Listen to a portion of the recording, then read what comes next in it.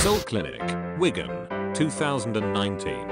At Grace Fountain Church, life transforming, destiny shaping, the power and the glory, with Bishop Jeremiah Gomado.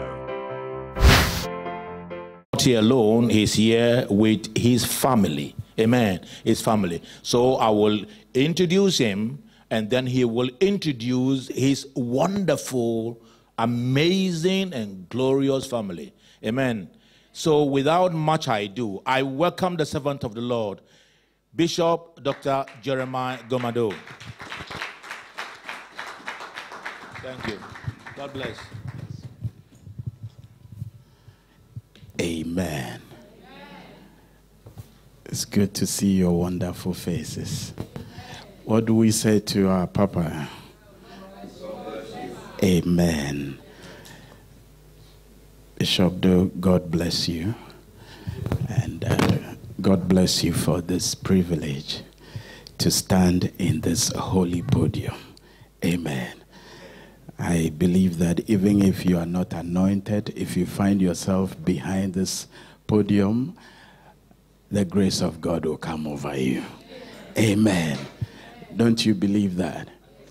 Because this is a great man of God.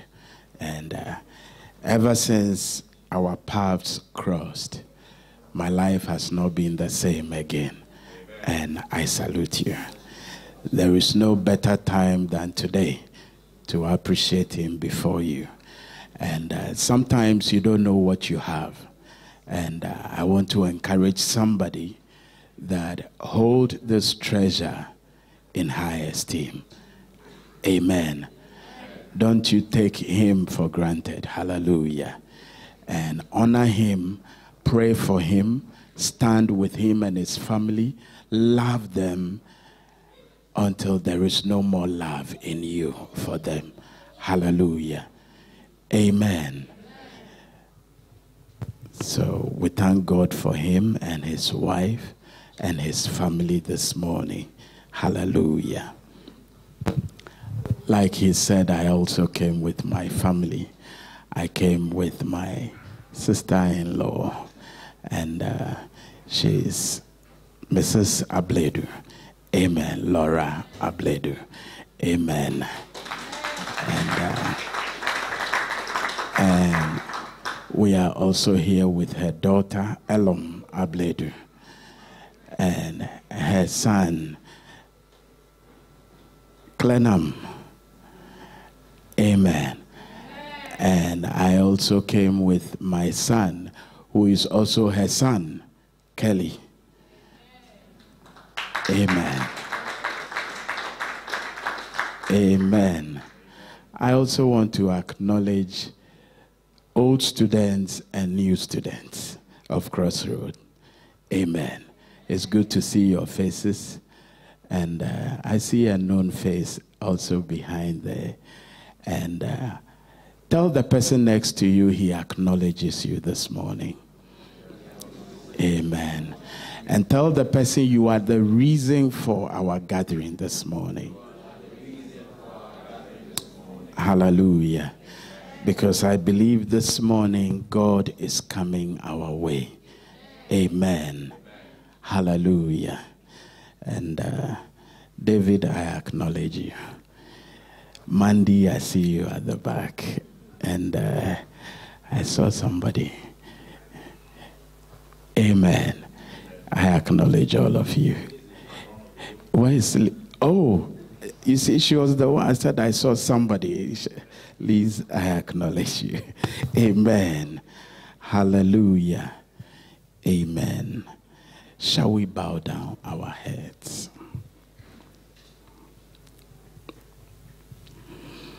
Jesus, this morning we believe you passing by this way. And we believe that you are in this home. You've always been here. And many other things that you have done. This morning we have come asking you to add to it.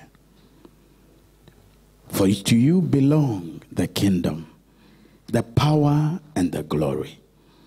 Lord, we yield our spirits, our souls, and our bodies to you. Take us on the journey of your word and minister life to us. Resuscitate us this morning. Empower us this morning. Enlighten us this morning. Let your glory, O God, shine forth this morning. Let your power, O God, redefine our beliefs this morning. Let your will be done this morning. Holy Spirit, glorify Jesus this morning and have your way in the midst of the congregation. As you glorify Jesus, we thank you. We bless you. We honor you. And we adore you. In Jesus' name. Amen. Hallelujah. Can we please read Second Chronicles chapter 20 and I want to read verse 5 and 6. Second Chronicles chapter 20 verse 5 and 6. Then Jehoshaphat, this was when the enemy came up against Jehoshaphat and Israel.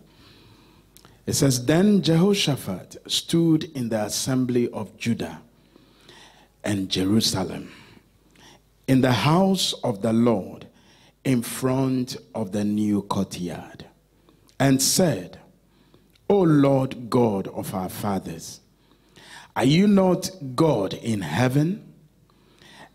And do you not rule over all the kingdoms of the nations?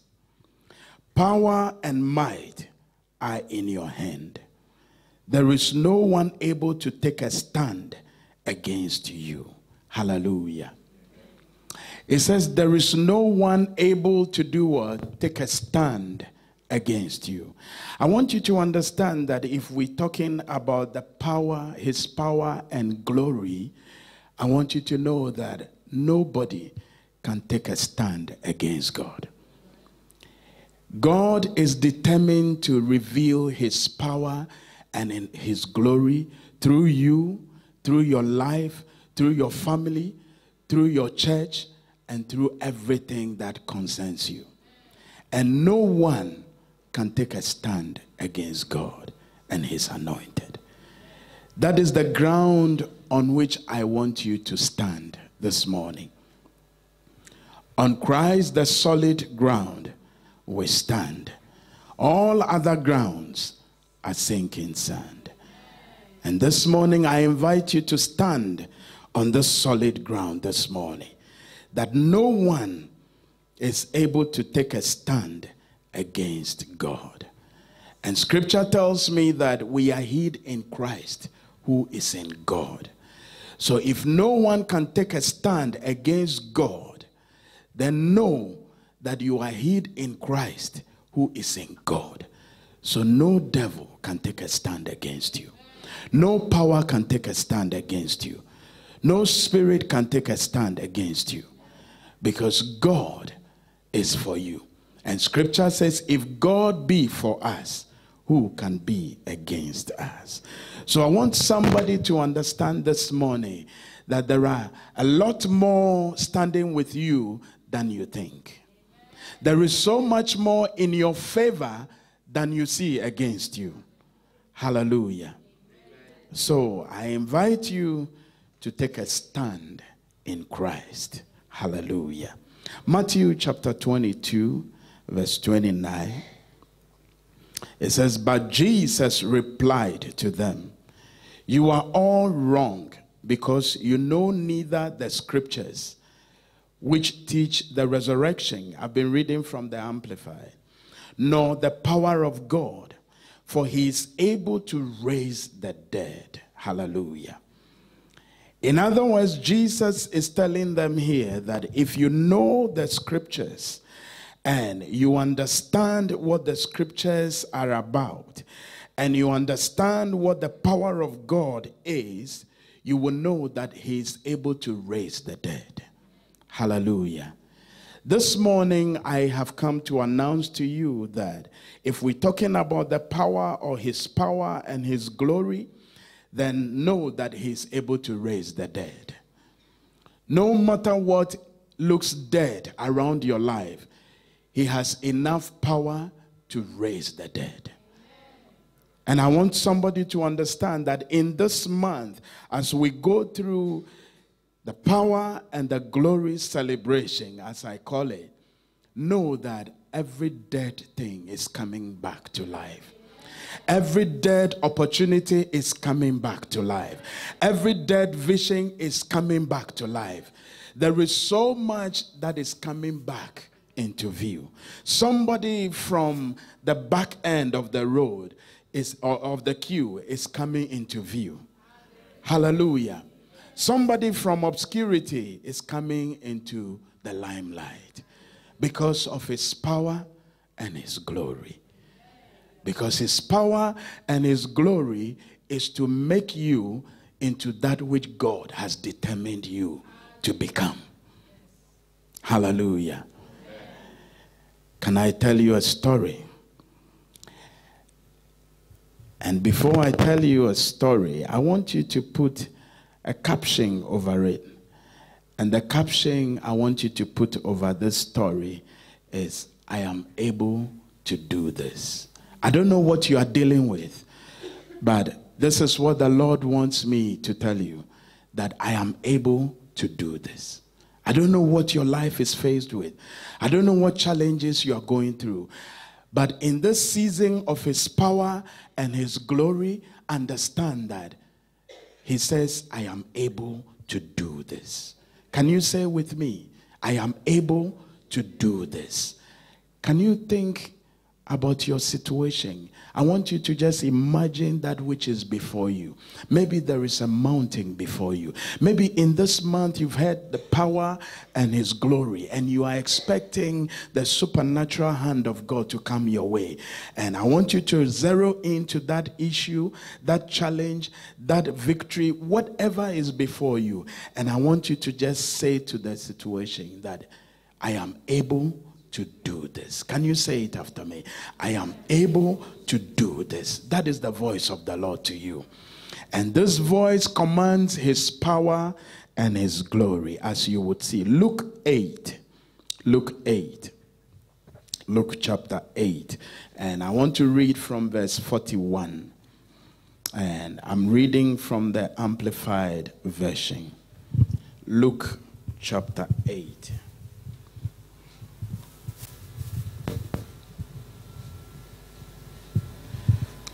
From verse 41.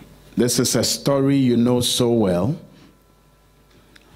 It says, And there came a man named Jairus, who had for a long time been a director of the synagogue.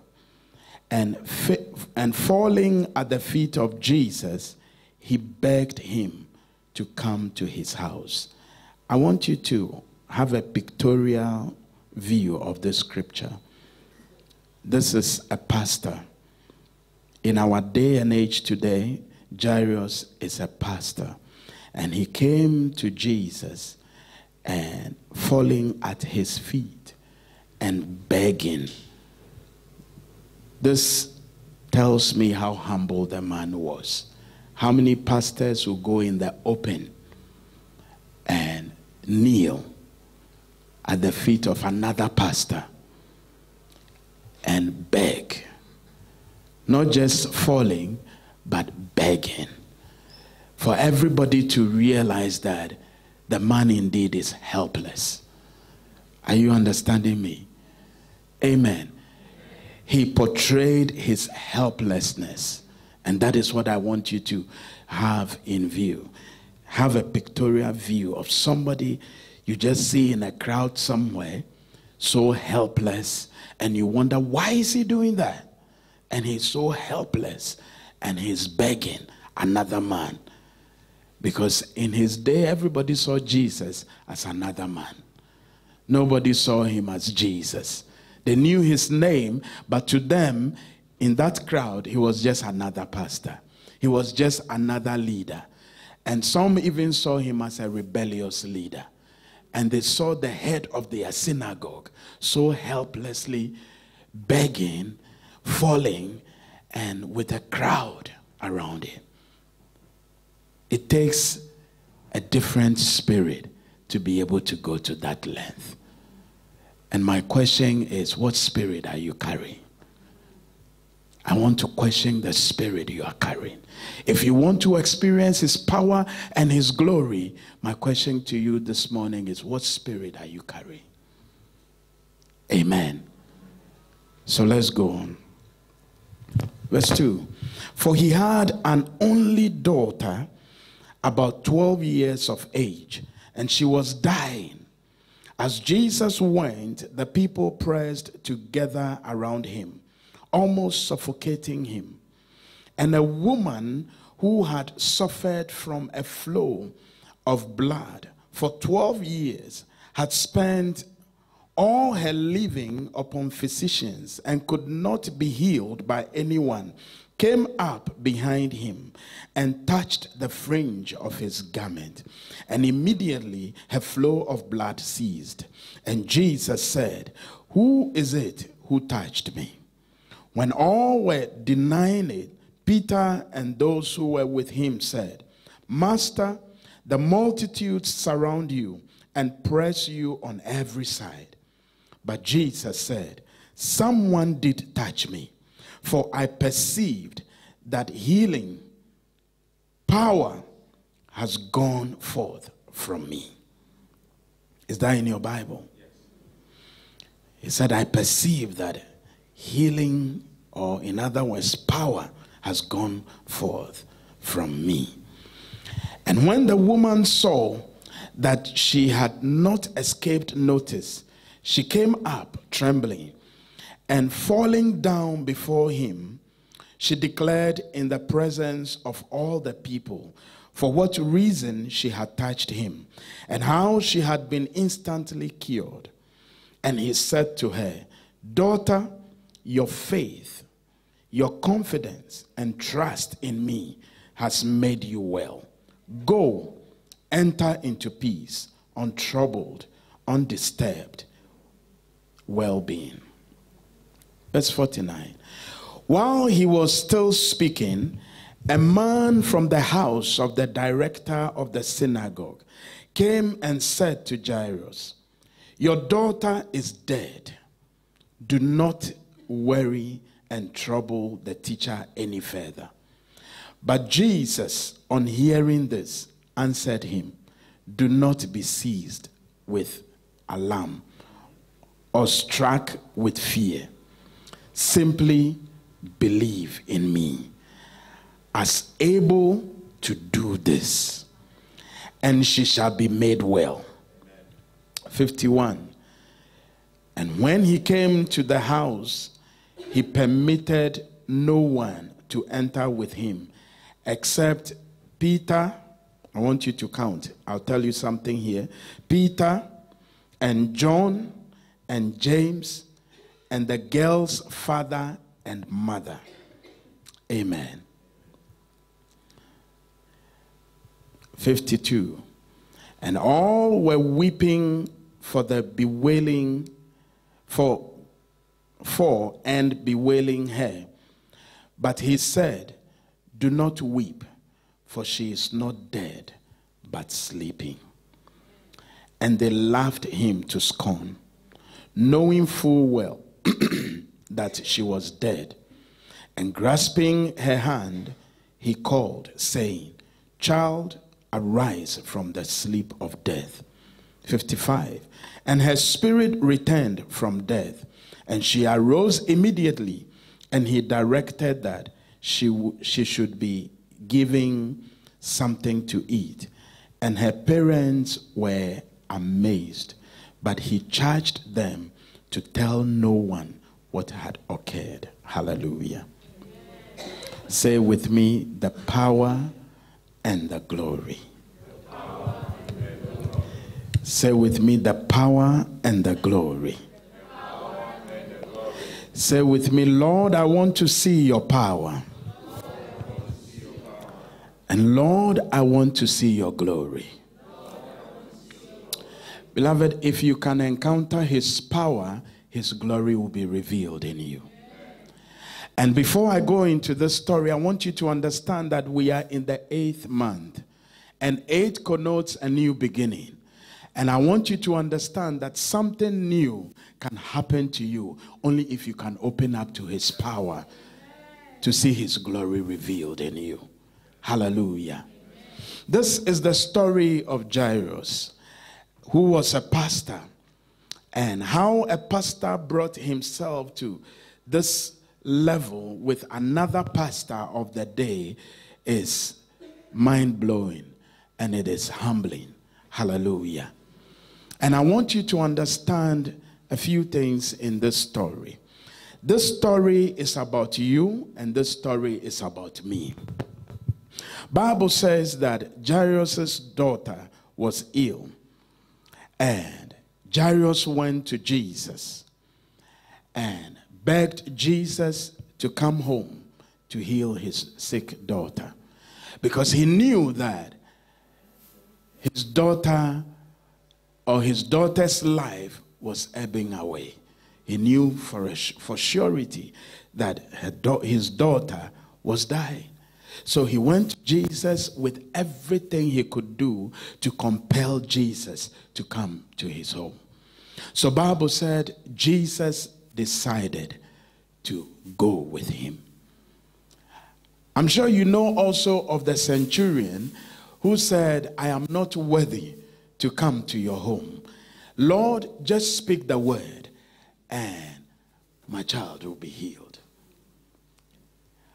But we meet the pastor and he never says to Jesus that only speak the word for my daughter will be healed.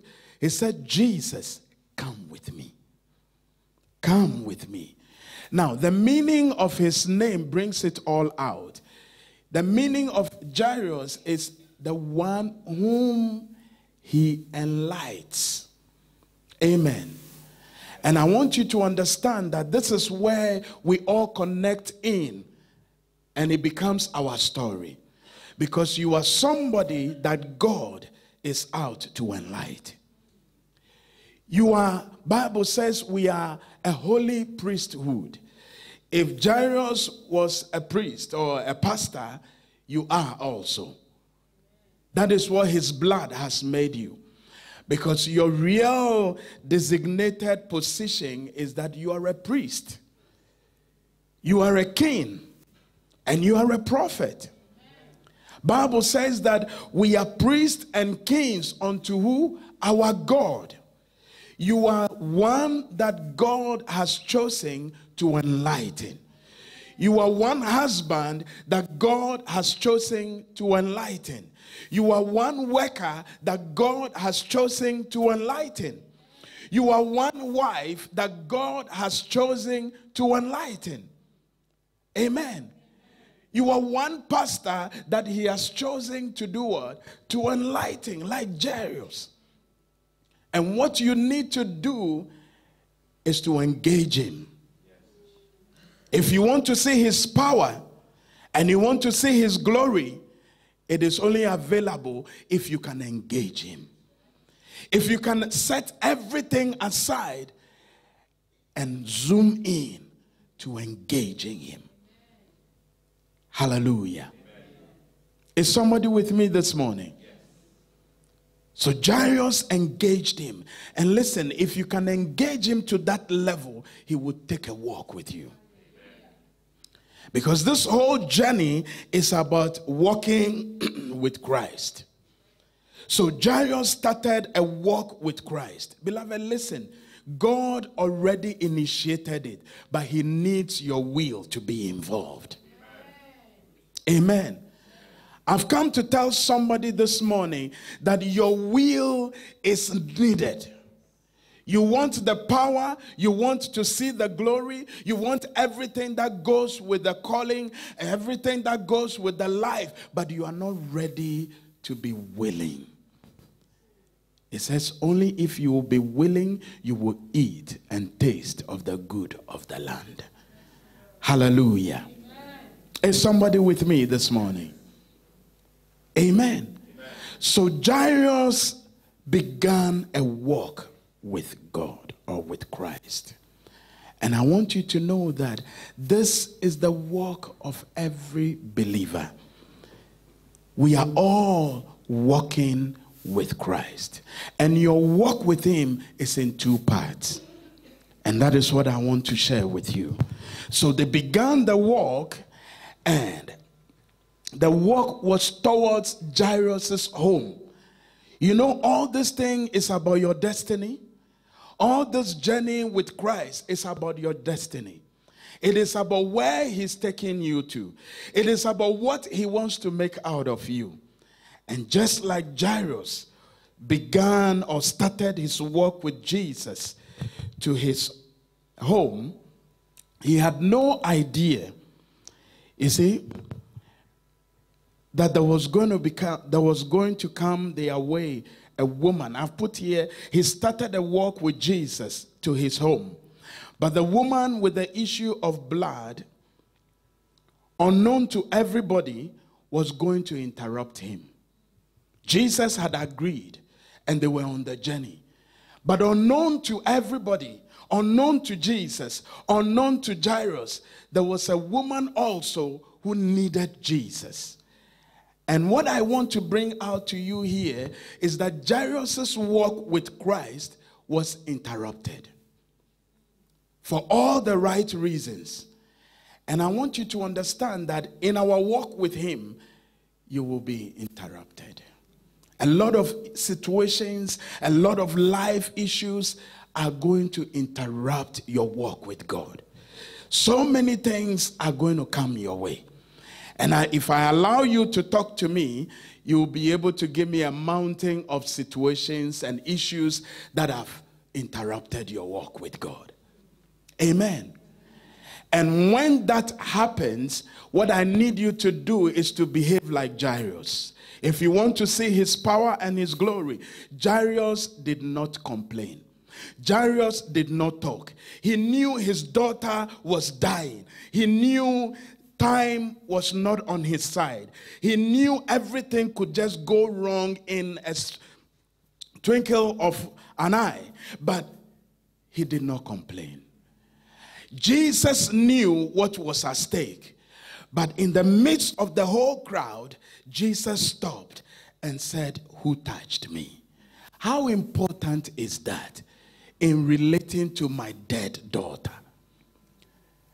Sometimes you become so interrupted and you want to fight. You want to pay back. You become so interrupted and you wonder, why should I be talked to in this way?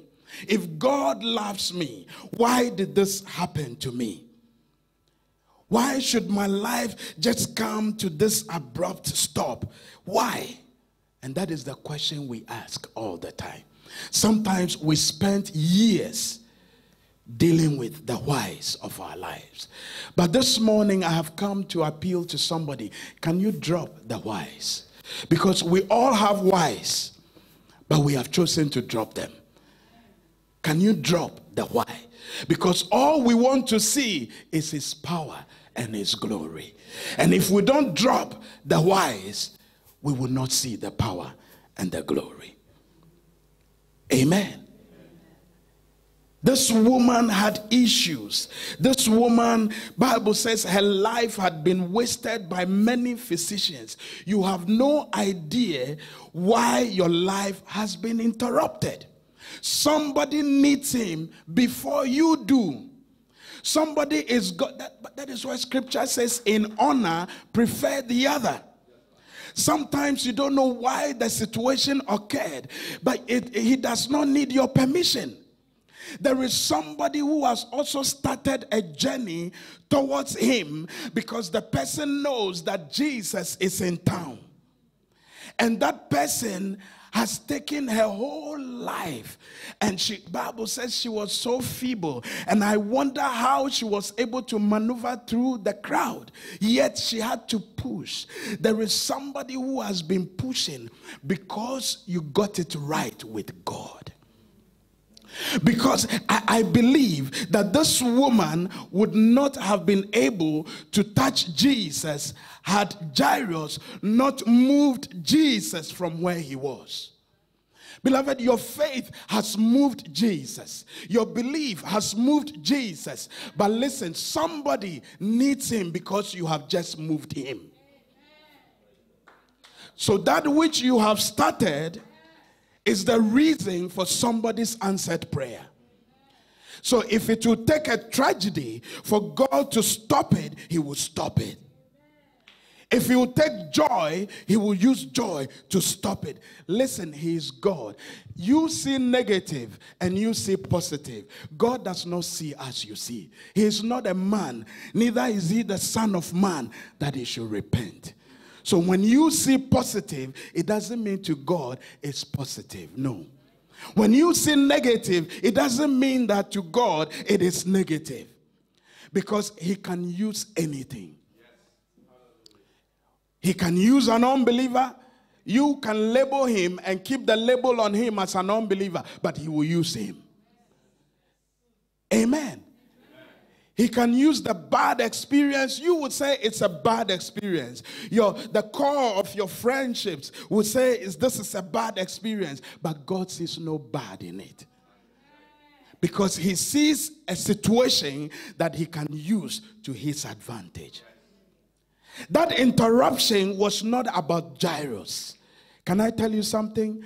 If you want to see his power and his glory, stop personalizing your experiences and holding people to heart and holding people hostage. Because it was not even about Jairus. It was about the woman with the issue of blood and Jesus.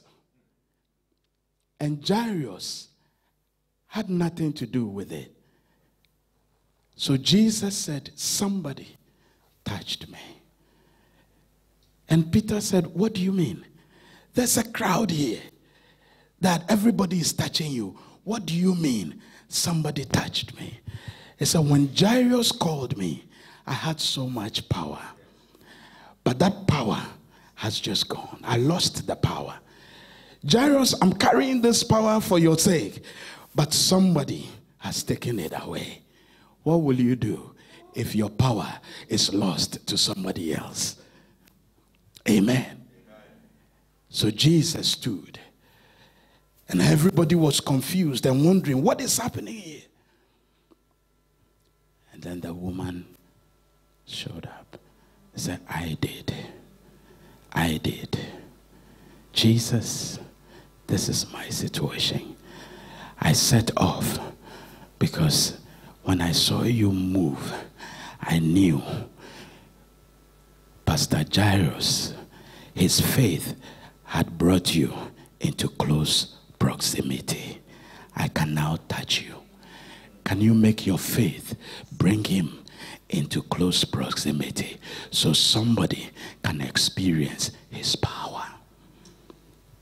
I've come to challenge you that allow your faith to bring Jesus to a close proximity so your cousin can touch him, so your uncle can touch him, so your mother can touch him, so your brother can touch him, because the power he is carrying is not for you.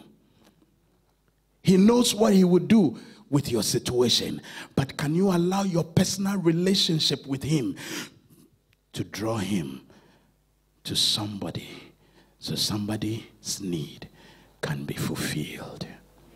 Can you become selfless? Hallelujah. Is somebody with me? Is somebody being blessed? So Bible says, whilst they stood there and Jesus was having this interaction with the woman then somebody from Jairus' house came and got there. And if you read the scripture, it sounded harsh to me. Because from the culture I come from, if somebody, if you are announcing the death of somebody, you don't just go and say it in a crowd for the first time. Are you getting me? In my culture, Jairus would have been called outside. And I believe in your culture is the same. And probably in your culture is even better. They'll make a cup of tea for Jairus. they will make sure they give Jairus a cup of tea just to make sure that he's calm and he can take the shock.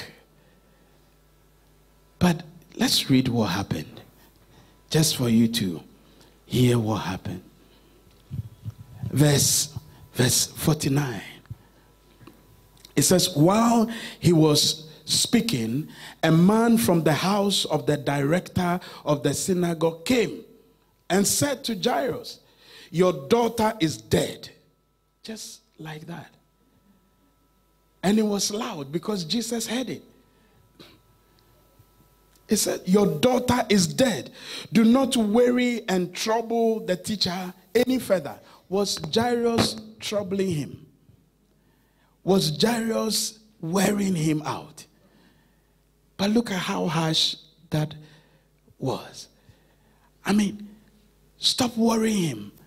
Don't worry him. He's your daughter, Jairus, your daughter is dead. Leave him. Let's go. We have a funeral to think about now. We have burial to think about now. That the whole story has changed. Jairus, this delay that Jesus caused has brought a whole change in plan.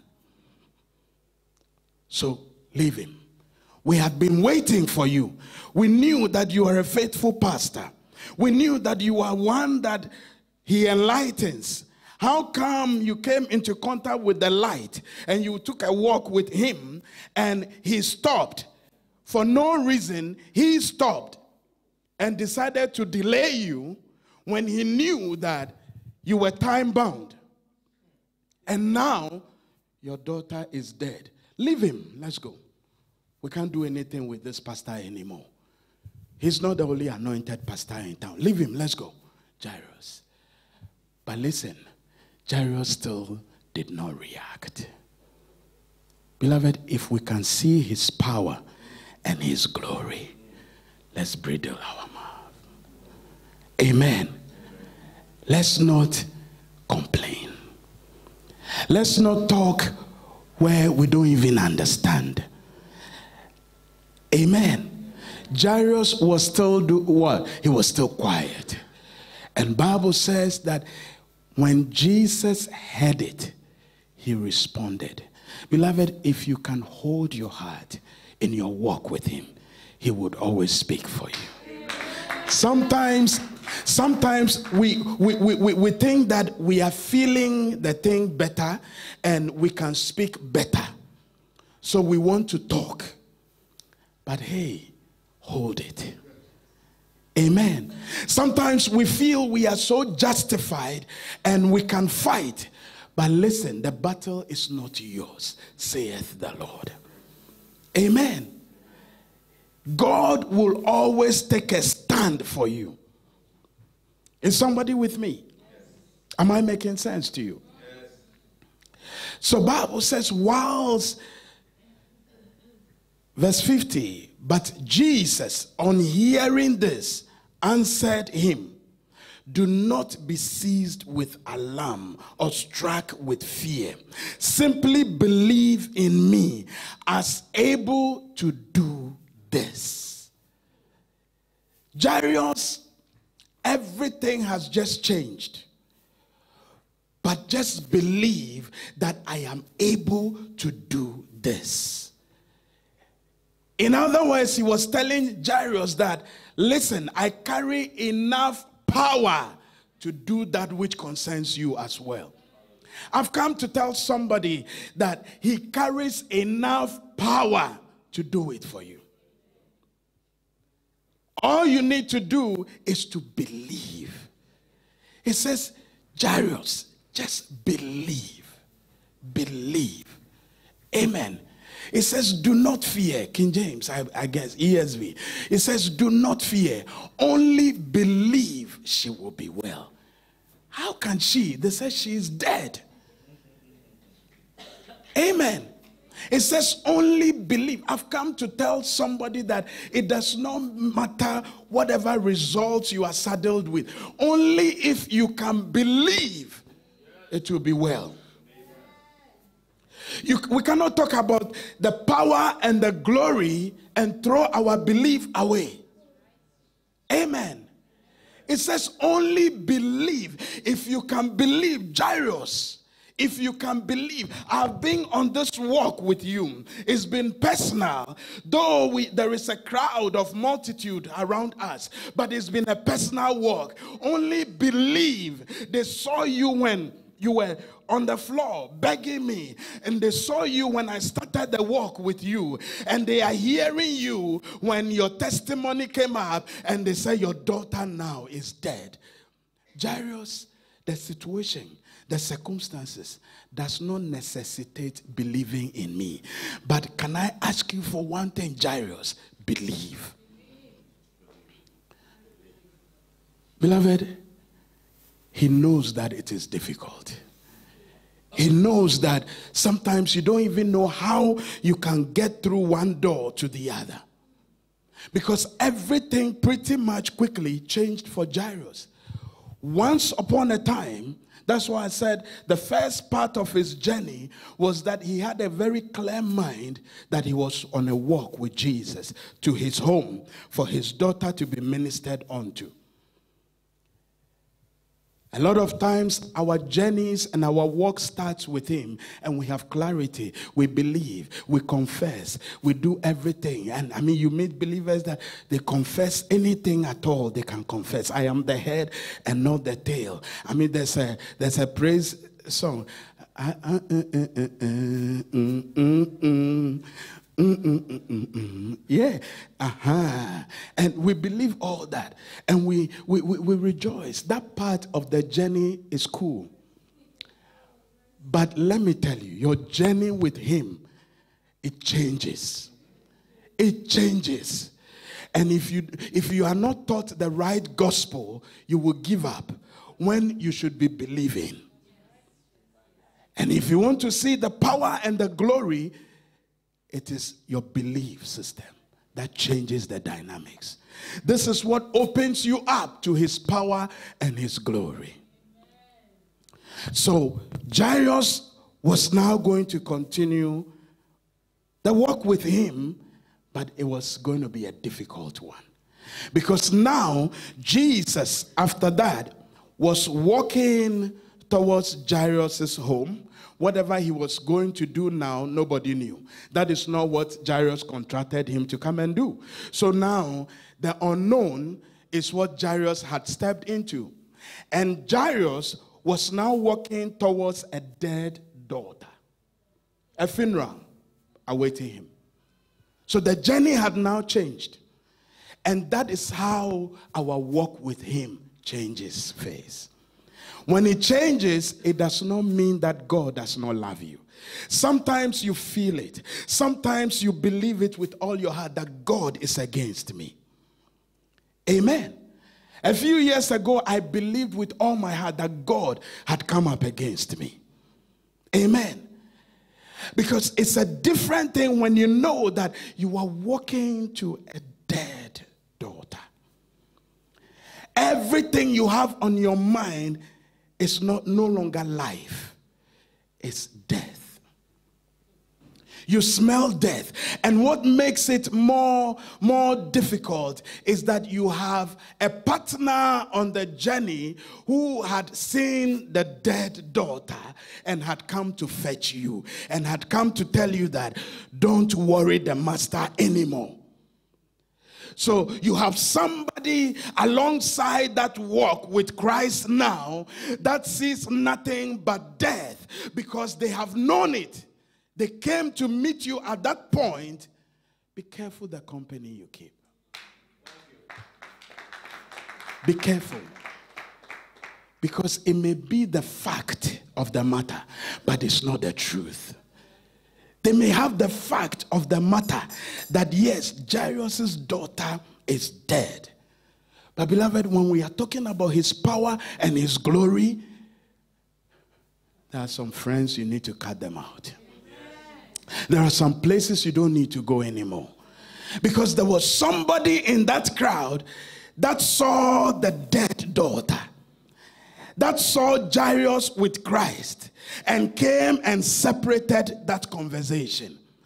Until that point, Jairus had not spoken, neither to Christ nor him. And Jesus said, Only believe, it will change. And now everything about the walk with Christ changed. I don't know how Jairus did it, but Jairus was walking towards a dead.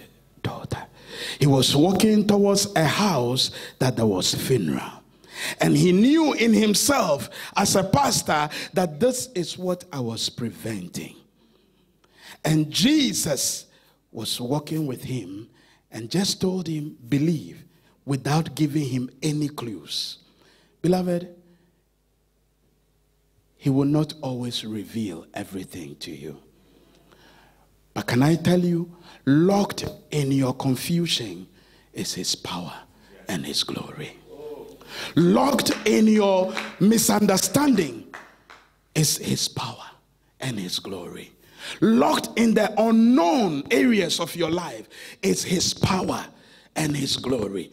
Locked in the fight is his power and his glory. Locked in your hatred is his power and his glory. Can you release it by believing in him? Only believe. So Jairus, Jairus, can I tell you another thing? Jairus was overstretched. Sometimes we feel so stretched and we don't even understand. But let me tell you, he will stretch you. He will stretch you. He will stretch your finances. He will stretch your marriage. He will stretch your relationships. He will stretch you. He will take you to the ends of the rope. Amen. You will come to your wits' end. But locked in all those experiences is his power and his glory. Amen. Amen. Is somebody with me? So it got, listen, it gets to a point, he's the only one who knows what he's capable of doing. Sometimes we want to play God, but beloved, you can play God however you want with your children, with your husband, with your wife, with whoever. But listen, it gets to a point God shuts you out because the glory, the power, and the glory belongs to Him and his glory he shares with no man. So it was necessary that he would use the tragedy of the death of his daughter to shut Jairus out.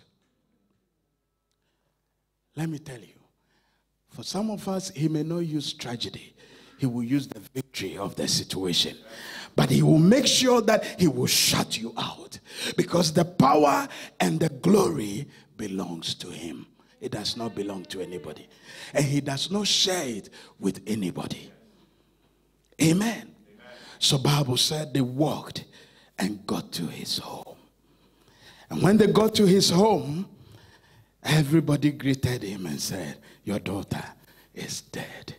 And Jesus got there, and I believe there were people who were looking at Jesus, and, and, and Bible says they mocked at him. They wondered, what is he here to do? I mean, look at this pastor, this new guy in town, jumping everywhere, saying anything to us at will, and we don't even know why Jairus went for him. He got delayed, and look at what happened. He's not even getting his testimony like the centurion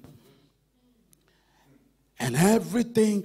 But you see, everything that people can label you with is what he has used to lock you out so that his power and his glory will be revealed. Because when it is revealed, it must be authentic. When it is revealed, Bible says God does it that no man can add to it, neither can any man take out of it. Beloved, he is God all by himself. He doesn't need your help. Sometimes we treat God as if God cannot handle that situation. Can I tell you something? He's more than who you think. Weeping may endure for a night, but joy comes in the morning. I declare that this is the season of somebody's morning. I declare that somebody is rising to a new place in Him. Hallelujah. Somebody is coming to that place that God has destined. It says, Oh, taste and see that God is good. Somebody is beginning to receive a new taste. Hallelujah. So everybody was just looking on. And I tell you, if you ever went to a funeral like I know, there will be gossipers. There are people who will be saying and interpreting things. People believe they know the story, they know the situation, they know everything that is happening. And so many things were flying over. But when Jesus got there,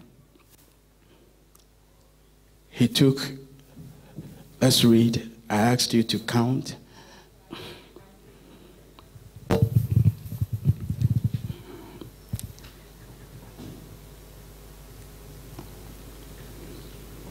And when he came to the house, he permitted no one to enter with him except Peter and John and James and the girl's father and mother. How many people? Including Jesus. Now, let me tell you something. As the Lord was telling me in my meditation, when he got there, he allowed five people to go in. Five is the number of grace. Beloved, I don't care what you are dealing with. If you can allow the grace of God to take over it, the perfection of God will be seen. A lot of times, we don't bring ourselves to that point to allow the grace we speak about to be evident in the reality. We just talk. But if you are dealing with His power and His glory, allow grace to do its work. A lot of times we try to preempt the work of grace. Amen. There was a daughter dead but what Jesus allowed through the door to the dead situation was grace. It says, By grace are ye saved, not of works that any man should boast. When he told Jairus in the journey that only believe he was telling Jairus that connect, there is a grace on my life. And you can't see it. But as we get to your home, I'll demonstrate it for you. Beloved, if you can allow him in your walk with him, he will demonstrate his grace to that situation. He will demonstrate his grace to your finances. He will demonstrate his grace to everything around you. It does not matter what people are saying, allow him so he will demonstrate his grace. Because when he demonstrates his grace, listen, grace went through that door and life came out. Amen. Amen. Grace went through that door, but life came out. If grace can enter into your home from today, life will come out of your home. If grace can enter into your business, life will come out. What goes in matters because the world is waiting for what will come out. A lot of times we are mindful of what we want to show and we don't care about what goes in.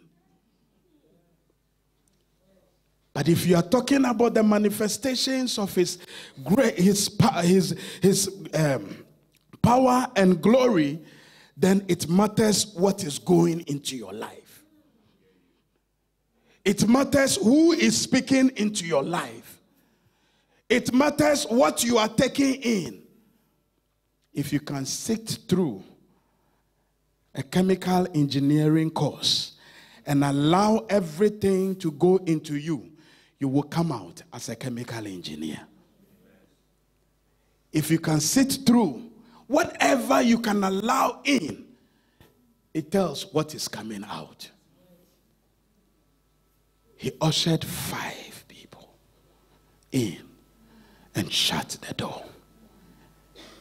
He was the sixth person. Six is the number of man.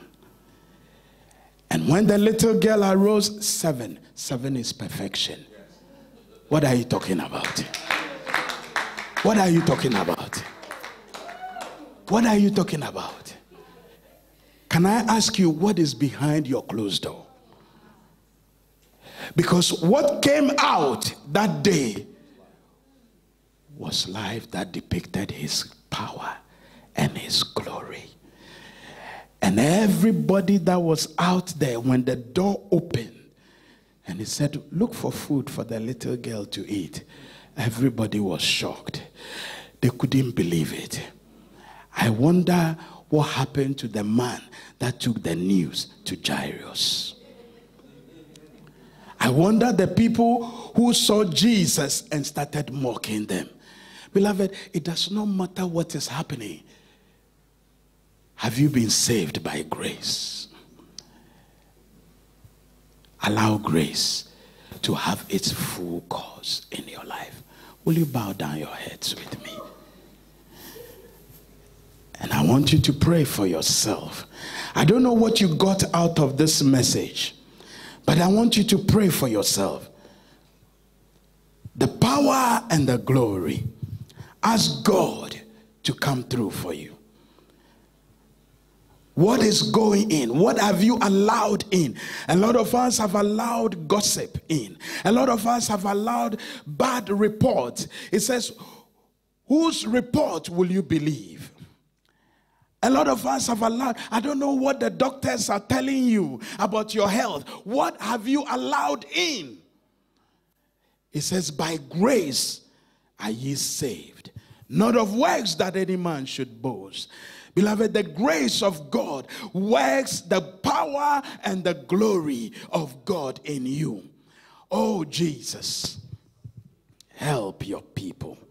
In the name of Jesus, have your way, Lord, and glorify Jesus. Lord, I thank you.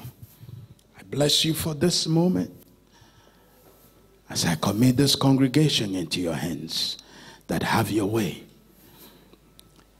In the name of Jesus. In the name of Jesus. In the name of Jesus. Agree with you. If you can just come, I'm ready to agree with you that the Soul Clinic, Wigan, 2019. At Grace Fountain Church. Life transforming, destiny shaping. The